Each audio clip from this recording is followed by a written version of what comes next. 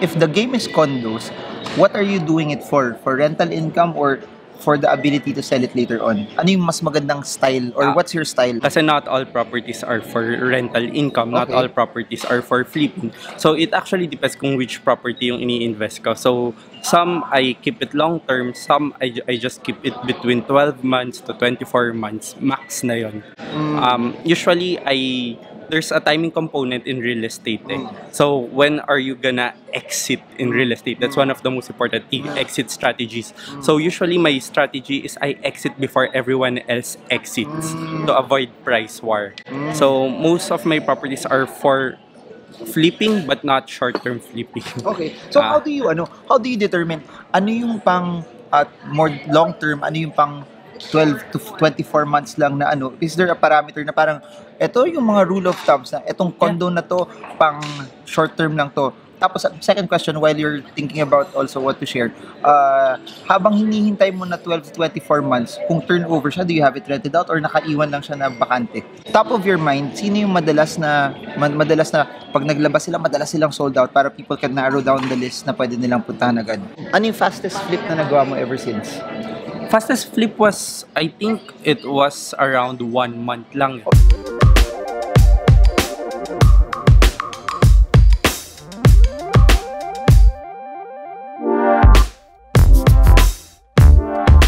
Hi everyone, please subscribe to Marvin Gurmos YouTube channel and click that bell right now. Yes, please click it, please click it guys. So, enjoy the video. Hi everyone, we're in for a treat. We have Richard Carvajal, the CEO of Philgems Realty Incorporated.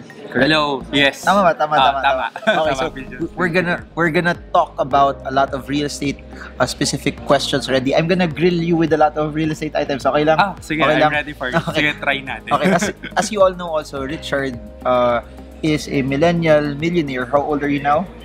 I'm 29. I just 29. turned Whoa. 29. Okay, okay, pero at least ano, younger guys, it's nice to see a lot of people, para sa akin na, it's nice to see a lot of people who are younger, who are very, very successful, who are doing uh, very, very well. Eh. Kasi, ayun eh, it's, I want to see parang the next generation of Filipinos do better. Kasi yun yung kailangan natin, no one does Yes, entrepreneurship, no one does investing as as much. So, ano lang, very, very quick update before we go to real estate.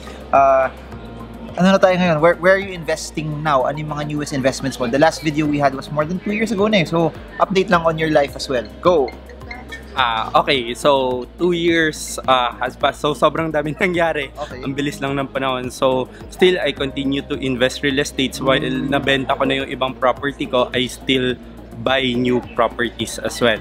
And of course, uh, my biggest investment the last two years was education. Talaga? So, I actually spent um, more than a million in education. So, that, that, that's it for the last two years. So, currently, I'm still finishing my master's in real estate investment finance. Mm. So, yun, I just finished the first part of the course in Oxford. So, Mm. pabalik-balik. That's why it it costs millions. Galing. Yeah. So, uh, over the past two years, nag-enhance ka ng skill mo kahit ka- that's why guys, the rich get richer because uh, they don't just focus on entertainment, they focus on education. Kahit madami nang alam, I'm sure Richard knows more about real estate than 90% of the population, pero he's still uh, equipping himself to know more.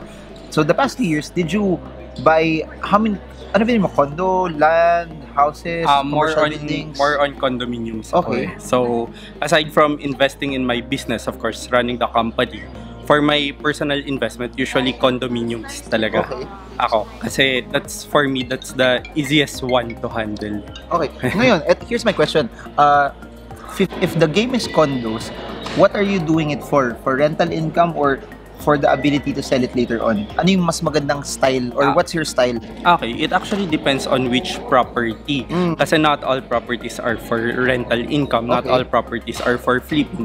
So it actually depends kung which property yung ini-invest ko. So some I keep it long term, some I, I just keep it between 12 months to 24 months, max na yon. Mm. Um, usually I there's a timing component in real estate. Eh. So when are you gonna exit in real estate? That's one of the most important exit strategies.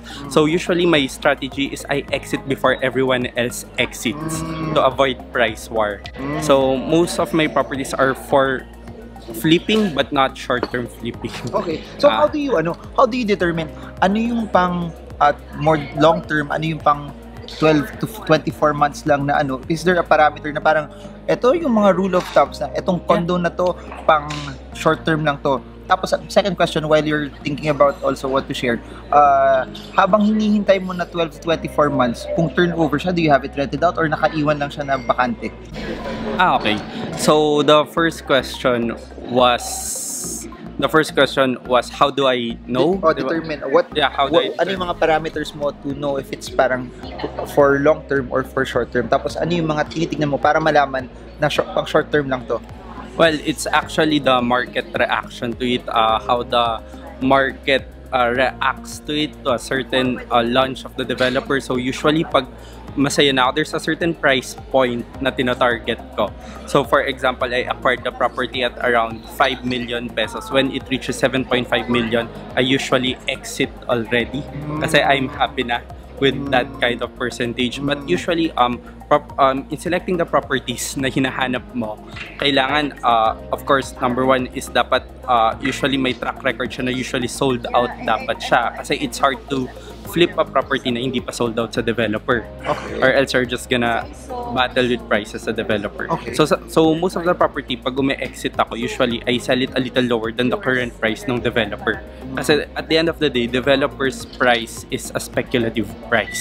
So for example, um, sinabi lang, ah okay, nag-price increase na yung property namin ng uh, 9 million pesos. But would people really buy it at 9 million pesos? So sometimes I sell my property at 7.5 million while developer's price is 9 million, something like that. Kasi kasi kumita ka na ng ano no, kumita ka na ng certain you- amount. the thing here is you Okay. can never be greedy in real Ah, estate. okay, okay, okay.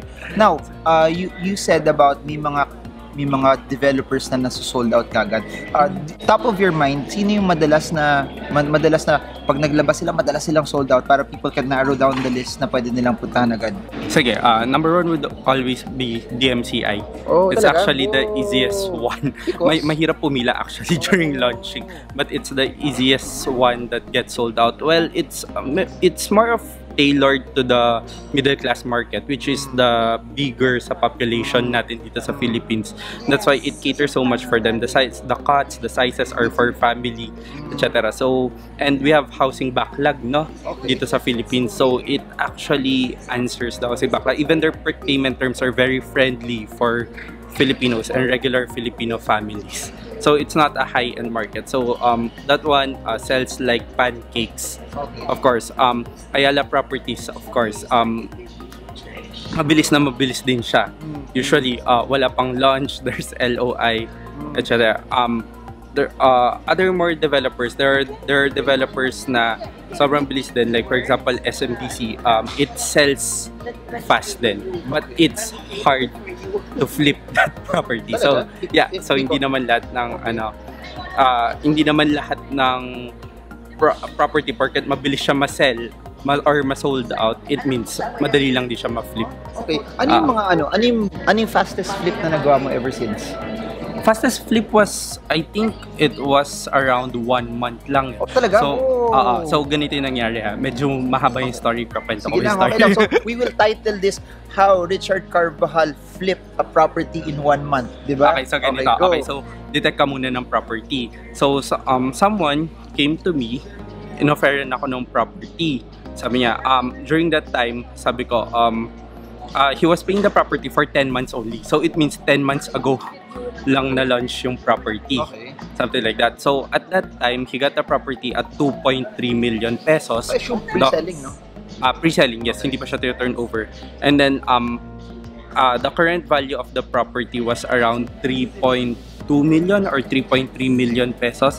Sabi ko, I'll buy your property without any kasi kailangan niya ng money. Okay. Sabi ko, I'll buy your property without any um interest or any ano just to just for you to get back the money. I'll pay all the taxes, the charges, na ano. So um I I bought the property. So ang during that time ang nababayaran niya pa lang 12 months times uh, 12,000 per month. Ah, sorry, 10 months times 12,000 per month pa lang yung nababayaran niya. So that's around 120,000 pesos. Okay. So yun lang yung nilabas kong cash. So I bought the property at that price, of course. And then um ah, na-hold ko pa yung property for a while. Sakto, the same month na binili ko yung property, nag-increase yung price list niya from the developer to 4.5 million, I think. Kasi nga, because of the um, Ortigas BGC link na ginagawa. So, banda dun yun eh. Malapit yun, the, the, the Santa Monica Bridge. Okay. So, Baka Ortigas side, BGC side. Ortigas side. Okay, okay. So, um, that property now, uh, binenta ko siya. So, I, I, I sold that property. Sabi ko dun sa pinagbata ko, you know, the property is sold out with the developer. It's currently 4 million plus. I'm only selling it to you at 3 million 200,000 pesos if I can remember correctly. So, in short, uh, binayaran niya yung difference Okay. from what I paid for tapos tinuloy niya yung property. So that was the flip, uh, the fastest flip na nagawa ko. So in that flip, I earned million, uh, more than a million peso and then um, ang nilabas ko ng pera is 120,000 pesos. Galing. So That- that's the key to leverage. That, that's why also it, uh, money is just an idea. If you know how to uh, use that idea well, uh, money will also flow. No. I have a question. Hindi naisip nung nagbenta sa'yo na ito yung market price ngayon, bakit ko bibenta at the, the amount that I placed? Okay. The, yung nagbenta sa akin, 3 months na siyang hindi nakakabayad ng property. I think Ah. nagkasakit yung parents niya or something like that. Okay. So, ah, ako naman, binili ko yung property. Pero, um, hindi ko ina-advise na kasi syempre we have to um, give the benefit din sa mga nag-invest, of Okay, course. okay. Ah, eh, kaya lang ito, wala talaga akong plan bilhin yung property pero lumapit siya sa akin. So, I took the risk of buying the property. Okay, pero do we, may ganun ba? May website ba doon? May portal ba na, o ito yung mga nagbibenta ng nagmamadali na they just want to dispose it? Or Ay, hindi, wala. dahil Pero nasa, you have to, you have ano, connections sa siguro, that's why you can. Actually, I wasn't the agent. There was an agent. There was a Okay. broker who sold me that. So may broker siya. So I think you have to talk to your brokers and agents lagi. So you have to ask them because they have the network eh. Okay. Usually, yung um, sila, pag hindi na mabayaran ng client nila yung property, uh, tinutulungan rin nila i-resale. So ask lang kayo ng bargain price or lower than the market value price for them. Okay, galing. Ah, So, 120,000, naging how much? uh, 1 million 1 plus. million in one month. That's cash. ah. That's Wow, cash. galing. Pero Ah. I have another question. How does that work? Yung pagka-transfer, how does the paperwork uh, for, work for that? Kasi hindi pa naman na-transfer talaga yung title sa pangalan Ayun niya. yung maganda, also. walang tax, Okay. walang walang capital gains tax, Okay. walang ano. So it's just an internal transfer. The problem right now is the developer, tinaas na nila yung transfers nila to the same amount of the capital gains tax. So usually uh, an internal transfer would cost about or a transfer of rights would cost about 6% na din. Pero prior before it was a flat 25,000 pesos to transfer. Kasi internal siya, so wala ka pang taxes na binabayaran. So even right now, the capital gains would be I, the six percent transfer of rights would just be an income of the developer. It, it, it's not gonna go to government taxes Okay. kasi hindi pa siya capital gains eh. So that's the thing. So timing component nga compared to inantay ko siya, though I might um probably uh, pag turnover siya, it will probably be sold at a higher price. Pero yun nga, you cannot be greedy in real estate. Hmm. Tsaka mas easier din siya for that. Okay, follow-up question to that. Uh, you said na meron naman pang long term. How do you determine naman ano yung mga items na you, you will buy hold for a very very long term tapos saka mo bibenta? Tsaka yung follow-up to that also, pinaparent mo ba siya while waiting for that period na, na, na, naghihintay ka?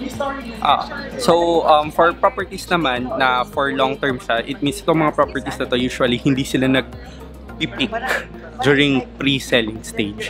So ang popular properties dito is let's say for example Shang Properties.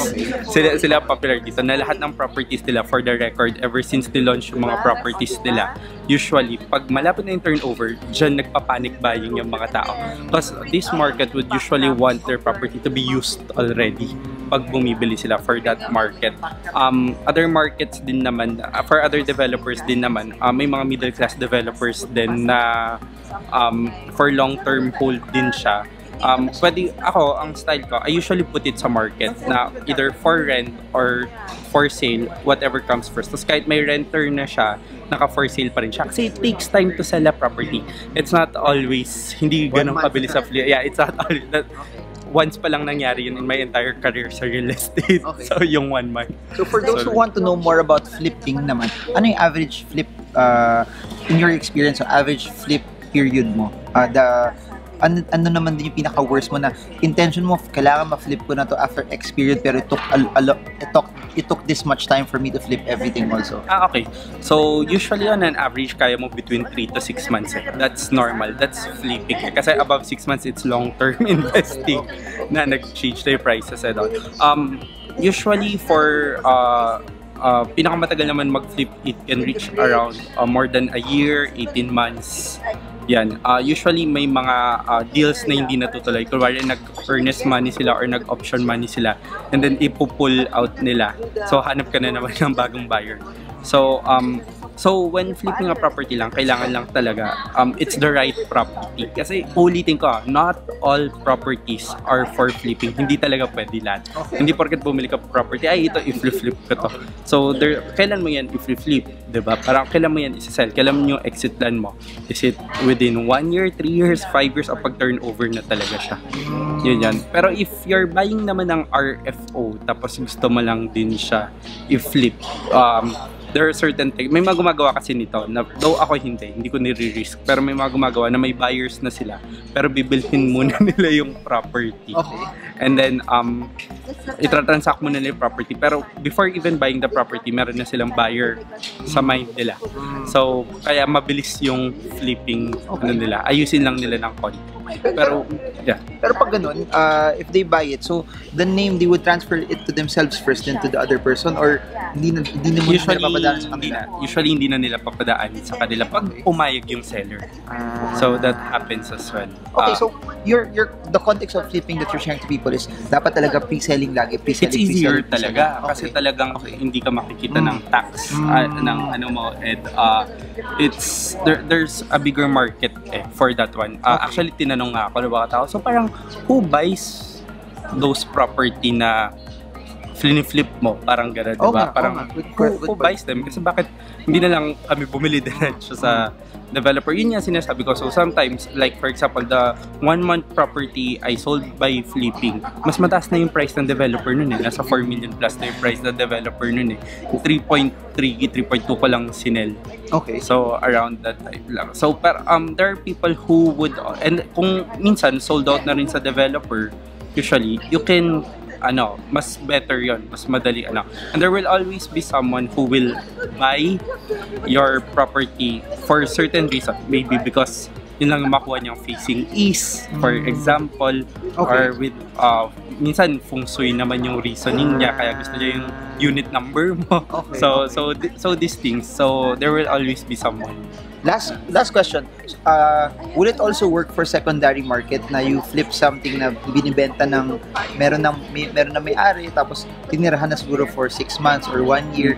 Is it advisable na pwede pa rin ba siya ma-flip? Tapos ay- ayusin mo na lang siguro or something? I, I Pwede siya ma-flip pero it will take longer and Okay. it's gonna be more expensive in terms of the paperwork, in terms of the kailangan mo ayusin yung unit in terms of the ano.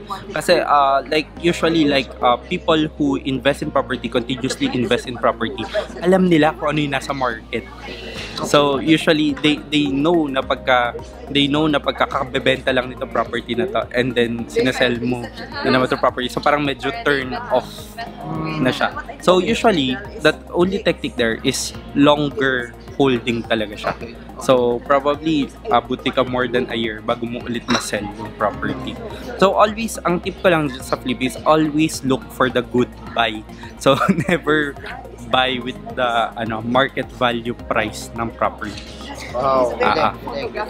So, anyways, you will be in Dubai this November. Yeah, Yes? November 29 Oh. to 30. So- So, so excited. So, sa mga taga Dubai, if you want to catch Richard, uh, he's, he's gonna have a, how many, two-day seminar? Two-day seminar, Okay. four modules. Mm, can you talk more about it also? Ah, okay. So, finally, uh, after that, and with the requested ng mga kababayan sa Dubai, finally, I'm going there. So, I'll be talking about four modules. Uh, I know you've attended a lot of real estate seminars already before, but I promise this is something different. Um, we'll talk about real estate as an asset. So, how does a real estate work? What are the characteristics? What are the myths about real estate? So, um, what are the disadvantage advantages of real estate? Uh, what are the uh, classifications of real estate, etc. We talk about real estate investing. So, what are the techniques in investing property? It's not just um, buying and forgetting, waiting for the price to grow. So, there's so much things. Subleasing, subdividing, rent to own. What is rent to own? Yung iba nagbebenta ng rent to own pero after bank loan, rent to own does not work that way and you cannot buy rent to own from the developer. So, pag may nagpro-promote ng rent to own from the developer, that does not exist. Mm, Yes, you wow. cannot. Kasi after some time, 24 months, iba bank loan mo. Rent to own is earning real estate from the interest eh. Di ba? Mm-mm. Okay. So, we talk about um, real estate uh, real estate finance. So, of course, ito taxes, how do you really earn? What is the net operating income? Do you really earn from rentals or napupunta lang lahat sa maintenance expense, your obligations, and how how how much money do you need? How much leveraging do you need? What are the risks in leveraging real estate? Or what is the role role of debt in real estate? And lastly, of course, we talk about real estate analyzation.